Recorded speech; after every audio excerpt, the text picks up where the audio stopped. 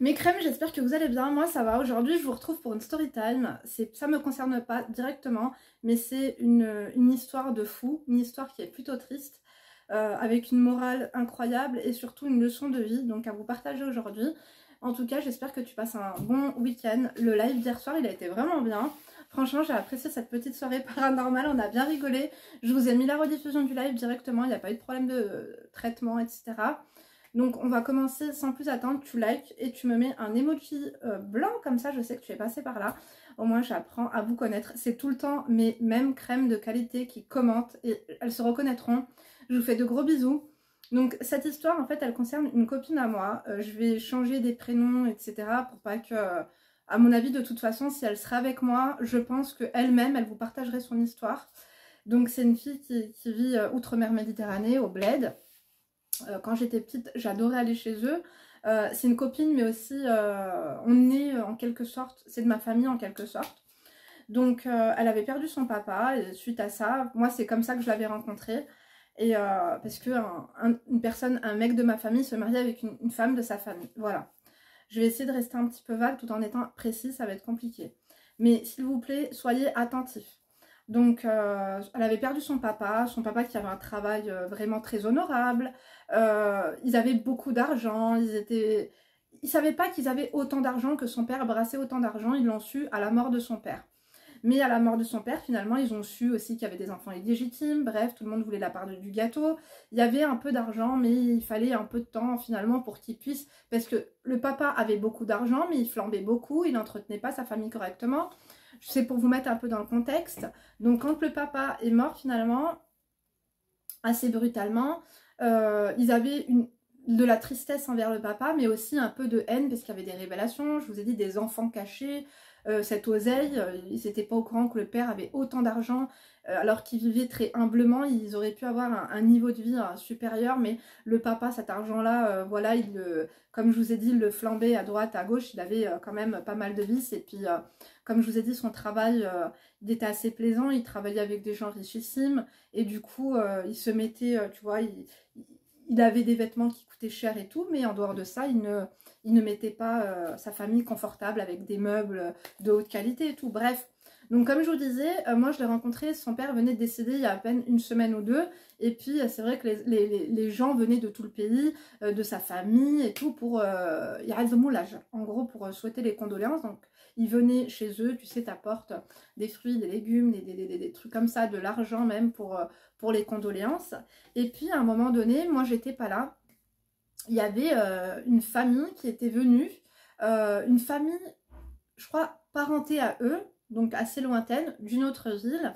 Et puis, il faut savoir que cette fille-là, elle est vraiment super belle, elle se porte bien, elle a des yeux, tu sais, des yeux verts magnifiques, elle est très douce, très serviable, une femme vraiment d'intérieur de ouf, c'est-à-dire que tu t'assois chez elle, t'es es un peu comme ça, pardon c'est ma chaise, hein, je pète pas, t'es un peu comme ça, hop vite elle va te ramener un coussin, elle se démarquait de ses autres sœurs parce que c'était tout le temps elle qui cuisinait, c'est tout, tout le temps elle qui, elle était sur tous les fronts, elle était au ménage, à la vaisselle, elle était au service, en même temps toujours un mot doux, toujours un mot chaleureux, euh, elle avait une voix sensuelle, une voix douce, une voix euh, apaisante, etc. Donc c'est vrai que tous les gens qui venaient dans cette maison, tout le monde, elle entrait dans le cœur de tout le monde. Moi franchement cette fille-là, je l'ai adorée, mais crame d'amour.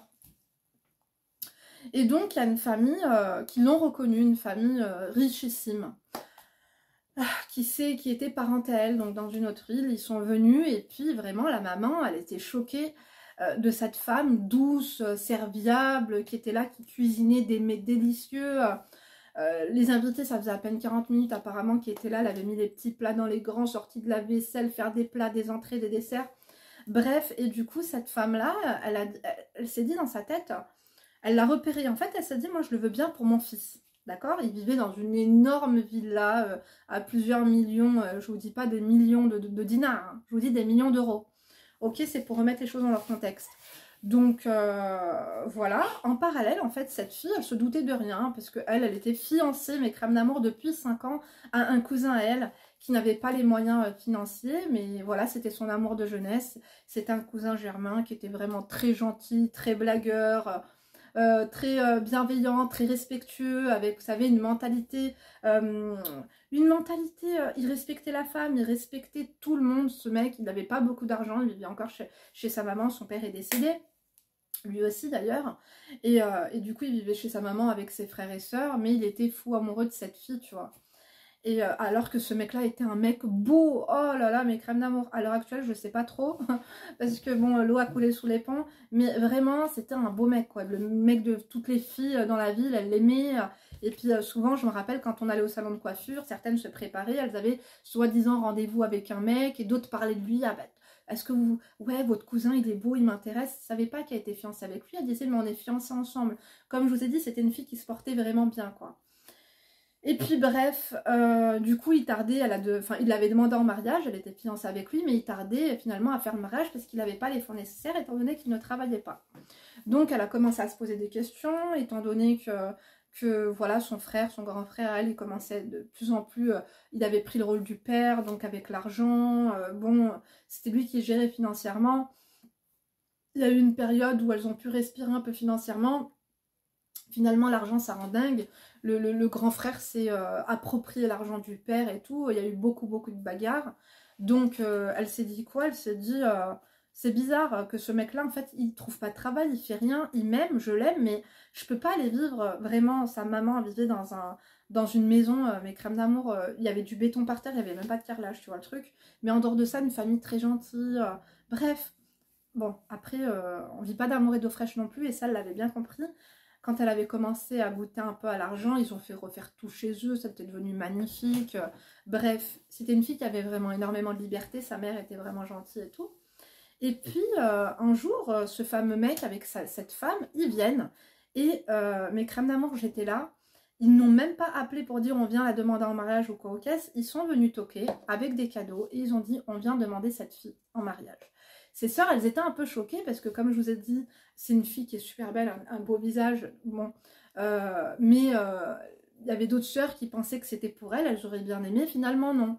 Donc le mec avec un physique un peu ingrat, un nain de jardin, excusez-moi les nains qui passeront par là, euh, le visage un peu fermé, mais c'était la mère qui commandait en gros, donc je pense que l'argent c'était vraiment l'argent de, des parents, lui il avait un petit commerce, je vais pas rentrer dans les détails, mais du coup, ils l'ont demandé en mariage et c'est venu tout chambouler dans ses plans parce que elle était, comme la maman l'a dit, oui, mais elle est fiancée à son cousin depuis 5 ans. Ils ont dit oui, mais elle est fiancée, ça veut rien dire, elle n'est pas mariée, nous on la veut. Donc elle, elle s'est dit, mais pourquoi pas Ils sont venus respectueusement, ils sont passés par la grande porte, comme on dit. Euh, en plus, c'est des gens richissimes, ils sont connus, ils ont une maison de rêve, ils ont dit qu'elle ne manquerait de rien. Mais elle, elle lui a dit, écoute, moi j'ai vraiment eu un coup de cœur pour toi. Ça s'était acté, c'était vraiment la belle-mère qui disait que elle, elle avait eu un coup de cœur. Le fils n'avait jamais vu la fin. Je crois qu'il l'avait peut-être entreaperçu, il l'avait jamais réellement vu. Donc ce jour-là, ils leur ont laissé 10 minutes ensemble dans la pièce pour voir si euh, tout allait bien. Il était cordial, il était diplomate, euh, voilà, rien à signaler. Donc elle devait réfléchir et leur donner euh, finalement la suite des opérations, devait se tenir un peu au téléphone pour savoir s'il devait y avoir des fiançailles ou non on réfléchit, elle était toute, elle avait des, c'était pas loin de la mort de son père, elle avait vraiment des étoiles plein les yeux, elle s'attendait pas à un tel rebondissement, elle s'est dit waouh, euh, la belle-mère même, ses, belles, ses sœurs, les belles-sœurs, donc euh, les sœurs du type m'adorent. Vous voyez, en fait, ils ont flairé en elle Cendrillon. Vous voyez, c'est quoi Cendrillon? Elle s'attendait même pas à ce qu'elle allait vivre, mes crèmes d'amour. Donc elle s'est dit quoi? Moi je vais faire quoi? Je vais attendre que mon mec, le beau gosse, super gentil, super doux, super flex, en fait il était vraiment très, comme je vous ai dit, il aurait euh, pas du tout... Euh, elle aurait pu faire ce qu'elle veut, elle aurait pu continuer son activité puisqu'elle avait une petite activité, voilà, qui lui rapportait un peu d'argent, pas des sommes extraordinaires, mais tout de même c'était une passion. Et puis elle s'y prenait, elle s'y euh, prenait plutôt bien, donc elle avait quand même pas mal de clientèle. Et donc ce mec-là, justement, il ne l'aurait jamais dit arrête de travailler ou sa mère à lui, vraiment Zawale, il y a une vieille personne adorable et tout. Donc elle me dit Linda, euh, qu'est-ce que je fais? Je choisis quoi euh, L'un, l'autre et tout.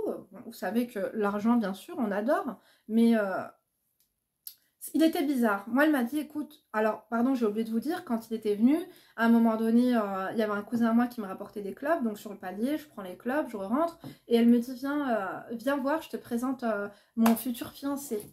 Donc elle me le présente, tu sais comment je suis, j'aime bien blaguer, j'aime bien rigoler.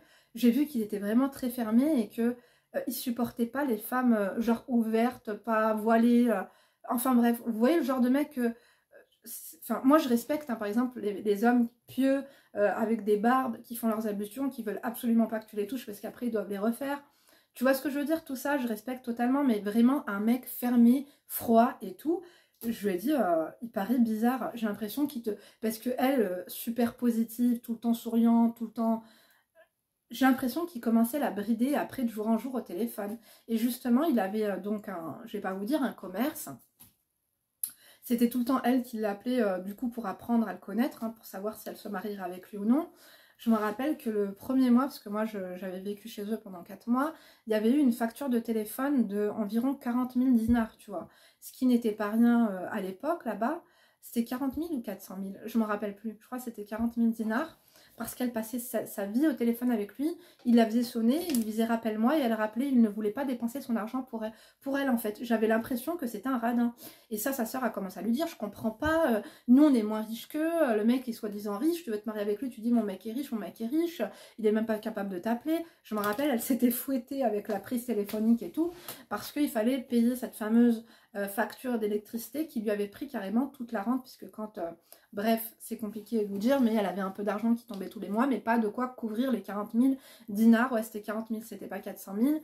Et, euh, et bref, du coup, ça avait fait un, bazar. Ils avaient voulu couper le téléphone et tout ça à cause d'elle. Elle m'avait dit, t'en penses quoi? Je dis, écoute, déjà, en plus d'être chum, il est froid, et puis sa mère, elle parle beaucoup.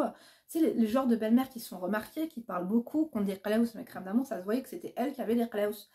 Et puis lui n'avait pas son mot à dire. Et puis euh, très vite, euh, je pense qu'elle a compris que, que c'était le choix de sa belle-mère et que limite, hein, c'était sa belle-mère qui se mariait avec elle.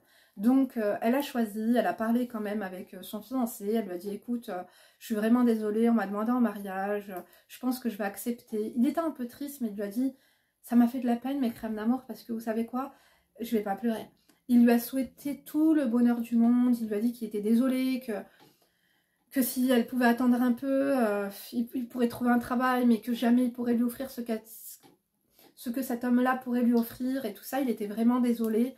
Donc euh, il n'a pas pu euh, lui offrir ça. Et puis euh, du coup, il lui a dit si tu le choisis, il n'y a pas de problème, moi je t'aimerai toujours et tout ça quoi. Donc finalement, elle s'est mariée avec cet homme. Et au début, elle était un peu, je pense, timide et honteuse. Elle n'osait pas nous raconter tout, tous les détails, tous les coulisses. Et en fait, euh, il s'est avéré que euh, dans l'énorme maison, chacun avait un étage. Lui, il avait un étage dans lequel parfois elle avait le droit de dormir avec lui. Et sinon, généralement, elle dormait avec sa mère. Le matin, elle devait se réveiller très tôt, préparer le petit déjeuner pour tout le monde, préparer les repas, faire le ménage, s'occuper des enfants, des sœurs qui travaillaient, etc. Donc, c'était devenu la Cendrillon. Et lui, euh, voilà, de temps en temps, il l'invitait à dormir avec lui, mais était très pas respectueux. Et puis, elle mangeait les restes. Elle mangeait même pas avec eux. Donc, vraiment, elle vivait la misère. Donc à un moment donné, elle a commencé à avoir un problème d'hormones, elle n'avait plus ses règles et il était très en colère parce qu'il voulait un enfant. Et, euh, je me rappellerai tout le temps, elle a commencé à se confier à moi. Elle n'avait pas le droit de venir voir euh, sa mère et ses sœurs euh, très régulièrement. Une fois, elle est venue et elle m'a dit S'il te plaît, Linda, est-ce que tu peux? J'avais mes règles. Elle m'a dit Linda, est-ce que tu peux? Je t'en supplie. C'est dégoûtant ce que je vais vous dire, mes crèmes d'amour, mais tellement qu'elle était au bout du rouleau. Il lui disait qu'il allait la répudier, euh, c'était la honte, euh, les femmes divorcées, les trucs comme ça et tout. Elle m'a dit, s'il te plaît, Linda, est-ce que tu peux porter euh, cette serviette hygiénique et, me la donner pour que je puisse rentrer avec, au moins lui faire croire que, j'ai mes règles? J'ai dit, mais c'est fou en fait, comment ça, t'as pas le droit d'être malade? Elle, me dit non, il faut absolument pas qu'il le sache, etc. Donc c'est ce qu'on a fait. Après, pareil, c'était quand? C'était une fois pour l'enterrement de ma mère. euh, Elle était là, elle m'a dit, euh, elle avait un frottis, elle devait faire un frottis. Elle m'a dit, Linda, est-ce que tu peux mettre du sang sur le frottis? Euh, Je comprenais pas, en fait, elle avait un cancer du sein, c'est après qu'elle l'a su. Et elle l'a su, justement, elle a enfin réussi à tomber enceinte, d'une petite fille d'ailleurs. Et, et du coup, heureusement, bon, il n'était pas content parce que c'était une fille, lui, il aurait préféré un garçon. La situation, elle commençait à se dégrader, elle me disait qu'elle manquait de nourriture, qu'il la traitait vraiment mal, que la belle-mère, même la belle-mère n'était pas bienveillante, etc., etc., et qu'elle regrettait. En parallèle, il faut savoir que son fiancé qui n'avait pas d'argent, c'est quant à lui marié avec une fille euh, une fille de, pas une fille de la rue, une fille qui avait fugué de chez elle, elle était maltraitée par sa famille et tout. Donc c'était une fille qui n'était pas vierge. Et puis ce mec-là, il s'était marié avec elle parce que il l'avait trouvée touchante et puis il avait envie de. C'était une fille de la rue, hein, il y avait tous les mecs qui profitaient un peu d'elle, etc. Donc ce qu'il a fait, c'est qu'ils ont fait un mariage à la bonne franquette et c'est devenu sa femme. Donc régulièrement, je voyais cette fille bah, qui vivait avec trois fois rien parce que euh, il bricolait un petit peu, il n'avait pas de travail fixe, mais euh, elle avait l'air heureuse euh, avec le peu qu'elle avait, ils avaient un petit garçon. Puis, et puis je commençais à parler avec ma copine, elle me disait qu'elle regrettait et que finalement elle aurait préféré sa situation, vivre dans une maison un peu poubelle, cabane, un bidonville, mais crème d'amour, et être heureuse avec un mec respectueux, finalement que quand il n'y a rien à manger, finalement il y a toujours des blagues au repas. Et avec ce mec-là, il y avait à manger, mais clairement, il lui donnait des fois le pain rassis à bouffer le pain de la veille. Elle n'avait même pas le droit de s'asseoir à table avec eux. Et euh, quand elle est tombée enceinte de sa fille, euh, il l'a maltraitée. Euh, il lui disait que c'était moins que rien, qu'elle était pas. Déjà, quand elle avait eu du mal à tomber enceinte, puisqu'elle a mis du mal. Tu sais, au quand tu mets plus de 2-3 ans à tomber enceinte, c'est que tu as des problèmes de fertilité, machin, t'es pas une bonne affaire. D'ailleurs, ça m'avait surpris quand ils, ont... ils, sont venus la demander en mariage, il lui avait fait des tests, il lui avait fait casser de noix avec les dents, les crèmes d'amour. Je crois que je vous avais raconté cette histoire. Je vous avais pas dit que c'était elle. Bon, mieux vaut rire qu'en pleurer. Mais genre, il voulait tester sa santé pour voir si. Genre, il lui avait ouvert la bouche pour compter ses dents et tout, pour voir si elle allait pas leur coûter trop cher en, hôpital et tout, en frais médicaux. Et finalement, elle leur avait coûté super cher. Moi, je sais que mes. Euh, enfin, par, rapport à, son cancer après. Je sais que moi, mes cousines, quand elles accouchent au bled, les maris payent des cliniques privées. Tu, tu sais, tu as le droit à la péridurale et tout. Ou sinon, euh, quand tu vas à l'hôpital normal, t'as pas de péridurale, t'as rien. Et lui, il aurait eu les moyens de lui payer une clinique. Il lui a payé, euh, elle a galéré pour accoucher et tout. Bref, après mes crèmes d'amour, à partir du moment où, voilà, elle a accouché, finalement, elle a réussi à aller quelques fois à, elle a réussi à aller quelques fois euh, au médecin et tout ça. Sa mère donnait de l'argent, ses soeurs aussi lui en donnaient. Avec le peu que son mari lui donnait, elle réussit à faire quelques examens. Ils lui ont diagnostiqué du coup un cancer, la pauvre. À l'heure actuelle, il est toujours pas guéri et franchement, sa situation me touche énormément. J'essaie d'aider comme je peux avec ma mère aussi. Heureusement que ma mère est très généreuse. Et, euh, et du coup, mes crèmes d'amour, euh, ce qui s'est passé, c'est que là, dernièrement, ce que cet homme a fait, c'est qu'il n'en pouvait plus de payer les frais médicaux de traitement de sa maladie il l'a foutu à la porte, sachant qu'entre-temps sa mère est décédée, que son frère a pris euh, tout, tout. De toute façon, vous savez comment ça se passe au bled. Euh, une fille à une fille à 50% de ce que, par exemple, un homme à, 100% et deux filles vont avoir 100% euh, à se partager. En gros, il a tout raflé et puis il avait manigancé des choses avant la mort de sa mère. il avait dit, regarde, enfin bref, l'histoire est longue, mes crèmes d'amour, mais les filles ont fait tout un très mauvais mariage. Elles ont fait tout un très mauvais mariage. Je vous dis même pas que c'est le pire mariage que... Quoique non, c'est pas le pire. Je crois que si, elle, c'est le pire mariage qui a été fait dans ses sœurs. Mais elles ont toutes fait un mariage pourri. Et vous savez où elles en sont, où elle en est arrivée, cette fille? Donc à se faire mettre à la porte de chez ce mec. Il lui a dit qu'elle coûtait beaucoup trop cher qu'il ne pouvait pas subvenir à ses besoins médicaux parce que de toute façon il ne l'aimait pas. Euh, entre temps, ils ont eu un garçon. Il a bien voulu garder le garçon et il l'a foutu à la porte avec sa fille. Il l'a foutu à la porte avec sa fille, mais crème d'amour, et elle se balade de maison en maison, euh, de misère en misère. Vous savez, des fois on dit euh, dans la vie on a ce qu'on mérite. Cette, fille-là, elle méritait pas ça. C'était une, une fille bienveillante, une fille aimante, une fille douce, une fille généreuse, une fille qui a déjà bouffé son pain noir. Vous savez, je pense sincèrement que c'est pas cette phrase dans la vie on a ce qu'on mérite, c'est pas totalement ça. C'est juste que dans la vie on a le choix. Elle, elle a pensé qu'elle avait deux choix. C'est soit se mettre avec ce cousin qui n'avait pas les moyens, euh, ou alors qui était bienveillant avec elle et qui aurait été bienveillant avec elle. Voilà. Dans la maladie, euh, dans la pauvreté, il aurait été bienveillant avec elle. Il aurait fait selon ses moyens, le pauvre. Ou alors se mettre avec ce mec richissime, un peu but de sa personne, euh, pas très tolérant, avec, euh, je sais pas, une étroitesse d'esprit euh, inégalée, tu vois le truc. Donc elle, elle a fait le mauvais choix parce qu'elle s'est dit, bon, on ne sait pas de quoi la vie est faite, moi je vais miser sur le matériel, mais finalement, vous savez, vous pouvez vous mettre avec des hommes riches, mais leur richesse, vous n'allez même pas l'avoir. Si c'est pour profiter d'une télé, d'une maison, de je ne sais quoi, ça à quel prix Et elle, en fait, le problème, c'est qu'elle a su elle a cru qu'elle avait un choix à faire entre le riche et le pauvre. Elle a pensé qu'il y avait un choix à faire entre ces deux-là. Vous savez, un espèce de choix multiple. Et finalement, ce choix-là, c'est elle qui se l'est imposé. Parce que quand tu t'imposes un choix, tu peux aussi finalement mettre option A, option B, donc le riche, le pauvre, option C, autre. Elle n'a pas voulu se donner une troisième, un troisième choix. Et selon moi, ça a été une faute.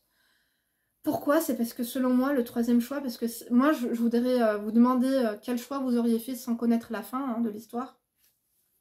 Si vous aussi, parce que je le vois au téléphone avec mes coachés, euh, des fois, vous me dites, ouais, je sais, il a des défauts, il est bizarre, mais mais quand même, il a un bon salaire, mais quand même, il m'a dit qu'il m'assumerait financièrement. Elle aussi, il lui a dit qu'il assumerait financièrement, mais il y avait des red flags et ça se voyait qu'il n'y avait aucune complicité, aucune chaleur, aucune attention, rien. Sous prétexte qu'il ne faut pas se toucher, il ne faut pas ceci, il ne faut pas cela. Même les échanges téléphoniques, ils étaient vraiment d'une radinerie. Euh, c'est bon quoi, souris, c'est gratuit. Non, le mec ne souriait même pas, mec, comme d'amour. Selon moi, le troisième choix, ça aurait été quoi? Je regarde juste, ça va, j'ai le temps. Le troisième choix, mes crèmes d'amour, il faut que vous le créiez vous-même. Et le troisième choix, ça aurait été de continuer son activité. Attendre, parce qu'il n'y a pas le feu, elle avait que 25 ans. Attendre qu'une autre personne, un autre profil se présente. Mais en attendant, vraiment développer son activité. L'activité professionnelle qu'elle faisait, elle aurait très bien pu se consacrer là-dessus au lieu de vouloir à tout prix se marier parce que c'est mal vu, si tu te maries pas avant 27 ans, euh, voilà, c'est un peu comme les Catherinettes, hein, je vous jure.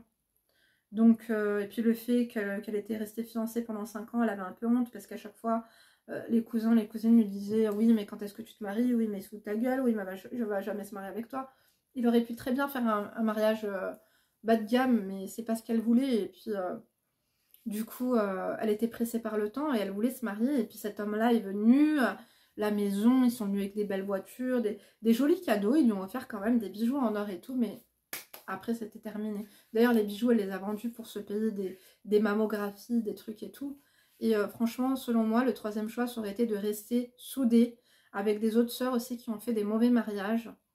Essayer de garder parce que pareil je peux pas trop raconter non plus parce que ça se fait pas envers elle quand même, même si comme je vous dis je, Inch'Allah, j'irai en Algérie et je suis sûre que bah, malheureusement elle parle algérien, elle parle pas français, mais elle aurait été pour la connaissant que je vous raconte cette histoire, elle vous l'aurait raconté, on aurait pleuré ensemble dans les moindres détails. Et peut-être que d'ailleurs un jour je vous la présenterai avec grand plaisir. Mais euh, selon moi, elle aurait dû serrer les coudes avec euh, deux, trois de ses sœurs et, garder un logement euh, avec trois fois rien, oui, mais cette sérénité, au moins avec dignité, au moins avec respect, euh, et, pouvoir manger. Je préfère bouffer de la shorba tous les jours euh, ou même limite de la galette. Moi, vous savez, je vous ai pas raconté euh, toute ma vie en Algérie, mais il y a eu des moments où j'ai vécu chez des personnes qui n'avaient trois fois rien.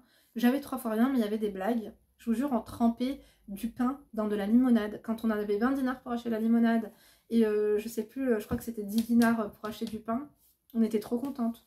Et on trempait du pain dans la limonade et on rigolait en, gros, on était en, autodérision sur la personne qui était censée nous nourrir et qui nous avait euh, abandonnés. C'était un oncle à moi d'ailleurs. Euh, peut-être que je vous raconterai, mais je pense que je vais écrire un livre, ça sera beaucoup plus simple, puisqu'il y a plein de détails. Euh, je pense incroyable, incroyable mais vrai. Donc cette fille, elle a cru qu'elle devait faire un choix. Finalement, bah, maintenant, elle se retrouve de maison en maison à avoir honte de manger chez les gens. Et puis heureusement que que, que ma famille, elle est tolérante, elle est... Mais vous savez, vous vous sentez pas comme chez vous. Parfois, tu vas toquer chez ta tante, chez ta... Tu sais, quand t'as pas de papa, que t'as plus ta maman, et que tu te, tu te sens obligé d'aller chez ta soeur, euh, qu'elle te nourrisse, alors que même elle, déjà, elle n'arrive pas trop à... Voilà, à se faire nourrir par son propre mari. Et puis ta soeur, elle va te nourrir une semaine ou deux avec ton enfant. Après, euh, elle va en avoir marre. Son mari va dire écoute, moi j'en ai marre de nourrir ta soeur. Ah oui, parce que sa belle-mère disait qu'elle était grosse et qu'elle mangeait trop et que du coup ça leur revenait aussi trop cher. Donc euh, je vous ai dit que mon grand-père était décédé au mois de mars. Du coup maintenant, euh, bah, elle est chez la femme de mon grand-père et puis euh, elle se soutiennent, etc. J'ai une famille qui est quand même généreuse. Et mais c'est pas évident, c'est pas évident de, de se sentir pas à sa place, d'être malade, de se sentir rejeté par par notre mari, de, en plus se retrouver loin de son fils, hein, parce que du coup il a gardé le garçon, il n'a pas voulu garder la fille, c'est enfoiré. Et euh, du coup elle se retrouve là, euh, prise au piège de ses choix. Donc il faut savoir que sa santé, ça va, hamdoullah, heureusement, dans son malheur. Euh, je pense que ça, ça amplifie en fait le fait qu'elle ait des mauvais traitements sur sa maladie. Je pense sincèrement que ça a dû être un choc, le choc finalement de l'attente vs la réalité qu'elle vivait avec son mari. Moi je pense sincèrement que c'est ça qui lui a déclenché du coup... Euh, je pense que c'est ça qui lui a déclenché son cancer, peut-être que je me trompe, hein, j'extrapole certainement. Mais elle va beaucoup mieux, hein, sa santé. Hamdou, là je pense d'ailleurs, enfin c'est pas que je pense, mais on m'a dit que sa santé n'était plus en danger. mais voilà, moi je pense que ben avec l'aide de, personnes qui vont te motiver, on va la motiver, il va vraiment falloir qu'elle reprenne son activité professionnelle, elle était vraiment douée, et comme je vous ai dit, c'était surtout avant tout une passion pour elle, et euh, il n'y a pas de honte à, recommencer de, zéro, parce que, et surtout, lorsque tu pensais atterrir les sommets, et que tu te retrouves du sommet à moins 400, parce que oui, tu es dans une prison, en fait, tu es dans, es dans un château, mais c'est une prison dorée tout le monde te veut du mal, il n'y a personne qui te veut du bien. Et euh, ils ont attendu finalement que sa mère ne soit plus là parce que de temps en temps, quand ça allait mal, euh, sa maman euh, faisait le, voyage. C'est à quelques centaines de kilomètres de là qu'elle habitait avec ce, mari et sa belle-mère. Il faisait un peu, des fois, il, faisait le, trajet pour taper du poing sur la table en disant Mais qu'est-ce qui se passe? Elle se plaint. Quand elle vient nous voir, elle pleure. Elle avait commencé à se confier parce que ça devenait terrible. Euh, et, du coup, euh, voilà. Puis eux, ils disaient non, elle en rajoute. Alors ça faisait que envenimer les choses finalement. Et j'ai vraiment l'impression que depuis que sa mère est décédée et qu'elle ne parle plus à son grand frère, c'est devenu sans pitié quoi. Ils l'ont foutu à la porte parce qu'il n'y avait plus personne en fait pour se battre pour ses intérêts, pour se battre pour elle. Et euh, du coup, elle se retrouve SDF avec des gens heureusement autour d'elle, comme je vous ai dit, il y a ma famille, parfois même des inconnus qui viennent à l'aide plus que ta propre famille. Euh, parce que bah, elle a des oncles, elle a des tantes, mais vous savez, euh, les gens n'aiment pas euh, les gens malades. on peut te nourrir trois jours, une semaine, mais parfois, quand tu commences à prendre trop de place, les personnes, elles t'évitent, tu vois. Donc ça a été compliqué pour elle, ça m'a vraiment fait souffrir. C'était prévisible, je, lui avais dit que pourquoi tu, dois choisir entre l'un ou l'autre? Elle me dit, est-ce que tu aurais choisi le beau gosse? Ouais, il est attirant, c'est sympa, mais non, en fait, le mec, il n'a rien à t'offrir. Euh, si c'est une, vie misérable, finalement, euh, j'ai envie de vous dire, bon, sa femme, là, qui l'a ramassé dans la rue, euh, sa vie, elle est misérable aussi, mais crème d'amour, mais au moins, elle le vit avec un homme qu'elle aime, un homme qui l'aime, un homme qui la respecte, des gens bienveillants autour, des gens, finalement, qui sont soudés. C'est sûr que c'est toujours mieux.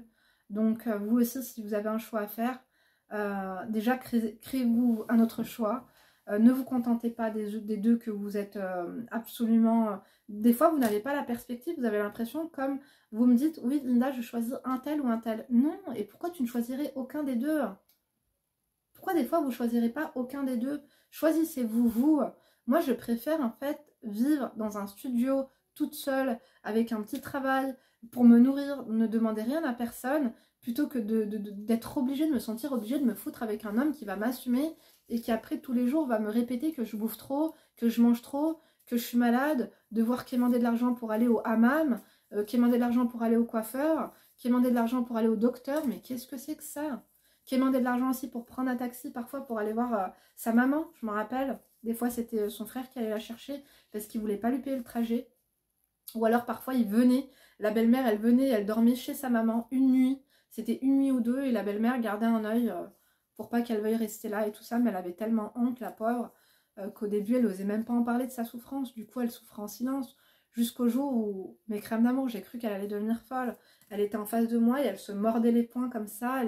Elle voulait se faire du mal. Et puis du coup, je l'aidais à relativiser. Je me rappelle, j'ouvrais mon paquet de Marlboro, on fumait ensemble. Et puis des fois, sa mère, elle était tellement pas bien que sa mère, la pauvre Rabbi elle me disait allume-moi en une, Inda, j'en peux plus. Euh, Vas-y, fumons là, parce que c'est quoi, c'est quoi ces filles, c'est quoi ces hommes qu'elles ont choisis et tout. Il y a du boxon dehors. Bref, la morale de l'histoire, c'est quoi? Créez-vous euh, créez-vous vos options dans vos vies, mes crèmes d'amour. Créez-vous vos options, faites attention. Oui, un homme, il peut être riche. Oui, un homme, il peut vous dire, je vous assume. Mais si cet homme-là, l'esprit étriqué, que vous avez l'impression qu'il ne respecte pas la femme, qu'il n'est pas attentionné, affectueux, respectueux, qu'il est mal élevé, sauvez-vous, sauvez-vous avant que ce soit trop tard, parce que je pense que dès le début, elle aurait dû stopper et ne pas avoir honte. Moi, je me rappelle, on a la cousine à ma mère. Elle s'est mariée en Algérie. Elle s'est mariée jeune, une beauté, vraiment une beauté fatale, cette femme. Et elle s'est mariée, et en fait, le soir du mariage, son mari, il est rentré ivre, ivre mort. Ils ont quand même fait ce qu'ils avaient à faire, mais il est rentré ivre mort.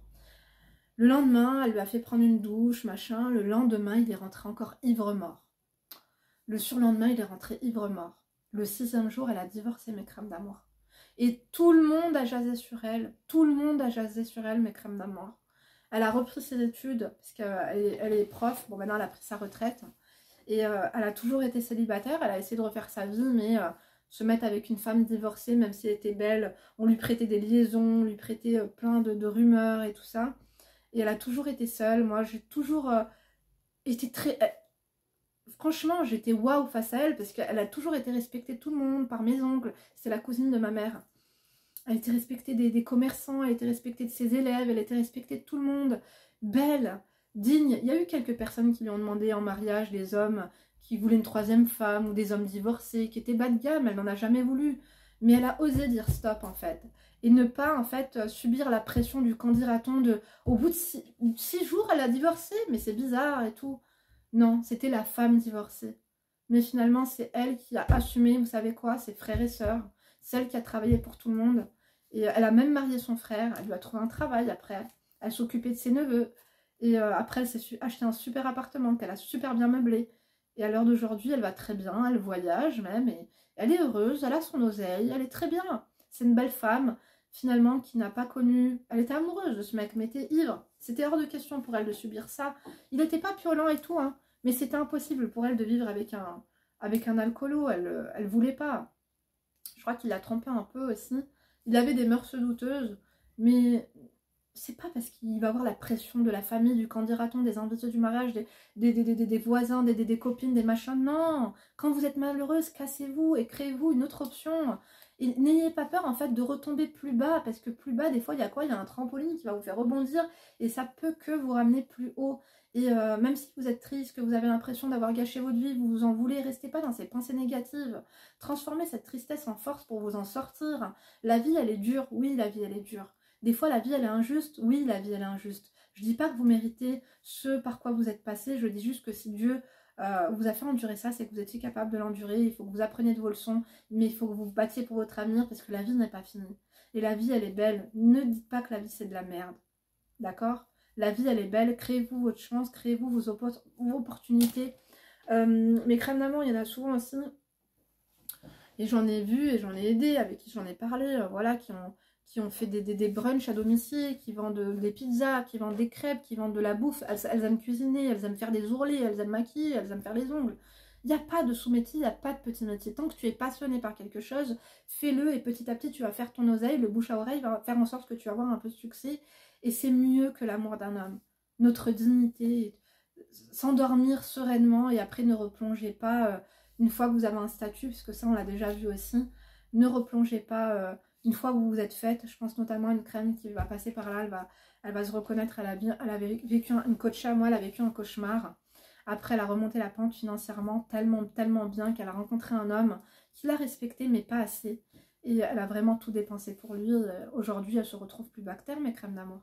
Elle se retrouve, je dirais, même pas à la case départ de son cauchemar qu'elle a vécu, mais dans un cauchemar euh, encore plus sombre. Donc euh, ne croyez pas qu'un homme finalement c'est le bonheur. Ne croyez pas que l'amour, oui l'amour c'est le bonheur mes crèmes d'amour. L'amour de soi, l'amour de ses enfants, l'amour de sa famille. D'accord? L'amour de soi c'est important. Et euh, moi je dis à toutes celles et ceux justement qui n'ont qui ont la pression parce que ça vous avez plus de 30 ans, vous vous dites bon je vais accepter, ok il y a quelques red flags, mais je vais quand même accepter parce que je veux savoir ce que c'est que le concubinage. Oui ça pue la merde, oui ça a, l'air glauque, mais je vais y aller parce que j'ai la pression de me dire que au moins ils voient que moi aussi je me suis mariée. Non, c'est pas à ça. Personne ne vous raconte leur vie. Ils font tu t'es pas encore marié, t'es pas ceci, t'es pas cela. Tu sais pas ce qu'ils endurent. Tu connais pas ce sais pas ce qui se passe dans leur lit, tu ne sais pas ce qui se passe dans leur vie, tu sais pas ce qui se passe dans leur compte en banque. Créez-vous votre propre option mes crèmes d'amour, d'accord? Moi en tout cas je vous embrasse, j'espère que cette vidéo vous fera réfléchir. C'est vraiment une histoire, euh, j'aurais pu vous donner plus de détails mais j'ai pas envie parce que je trouve que ça va être irrespectueux envers, euh, envers, envers cette famille que j'apprécie beaucoup, même si on a pris un peu nos distances, voilà, mais en tout cas, sachez une chose, c'est que moi, je l'aide. Après, c'est pas bien de dire ce qu'on fait ou ce qu'on ne fait pas. à, ma, comment vous dire, à mon niveau, voilà, au niveau de ma maman et tout. Donc, voilà, n'oubliez pas d'aider les gens aussi qui, traversent des périodes difficiles et qui n'osent pas spécialement vous dire qu'ils ont, besoin. Euh, sachez que même un sourire, même un instant, même une discussion, même un petit peu, un petit geste, euh, c'est souvent les gens qui n'ont pas grand-chose qui donnent tout ce qu'ils ont. Donc euh, n'oubliez pas de donner, puisque sachez une chose, c'est que ce n'est pas perdu. Des fois, vous avez 20 euros, vous n'osez pas les donner. Sachez une chose, c'est que vous allez en donner 20 et le lendemain, vous retrouverez 100, croyez-moi. Moi, je vous embrasse, mes crèmes d'amour. Croyez-moi, mon expérience, ça c'est vrai, c'est véridique. Ne faites jamais les radins avec l'argent que vous avez. Parce que quand on dit euh, donne, Dieu te le rendra, je vous jure que c'est vrai. C'est un truc de fou. Je l'ai expérimenté. Incroyable. En tout cas, j'espère que cette petite story time vous a plu ou pas. Hein. Elle n'était pas joyeuse, mais c'est vraiment une histoire que je voulais vous raconter. Si vous aussi, vous êtes euh, dans, un moment de votre vie, vous avez un choix à faire, réfléchissez bien. Et des fois, on croit qu'on a un choix à faire mais on ne se donne pas vraiment le choix, donc donnez-vous le choix. Je vous embrasse. À tes souhaits, on est dans les allergies, je vous dis pas. Je vous embrasse, je vous dis peut-être à tout à l'heure pour une deuxième vidéo, d'ici là, ne vous laissez pas faire. Gros bisous. Tu likes quand t'as intérêt, si t'as pas liké, on n'adore pas du tout. Et rejoins-moi sur Insta.